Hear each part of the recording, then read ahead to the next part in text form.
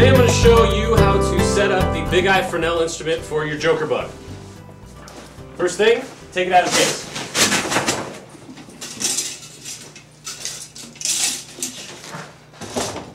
We're going to undo these two screws here, two thumb screws, in order to pull the, uh, the U-bar structure out.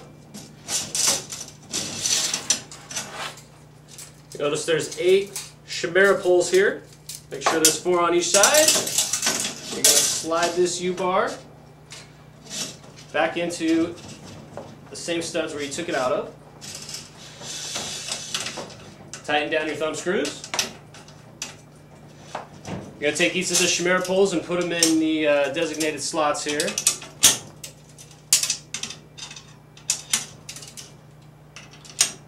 There's four.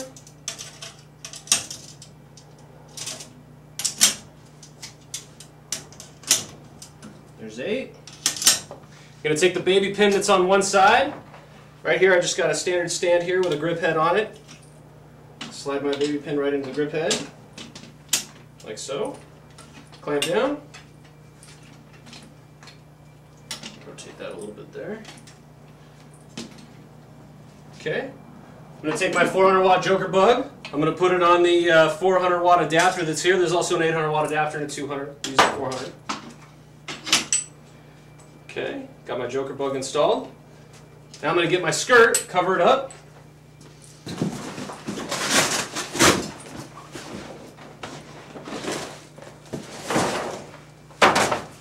This first half of the skirt, five knobs here. Just want to line up the uh, bungee cords with the five knobs.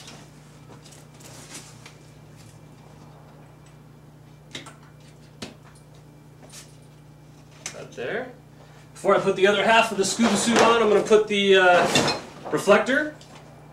Make sure it's lined up for the 400. We've got, uh, this works for your 200, 400, or 800. Make sure it's lined up with the 400. It's marked for you.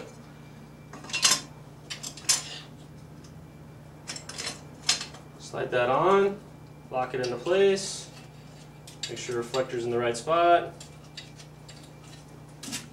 I'm going to put the other half of the uh, black cover on just like I did the first one.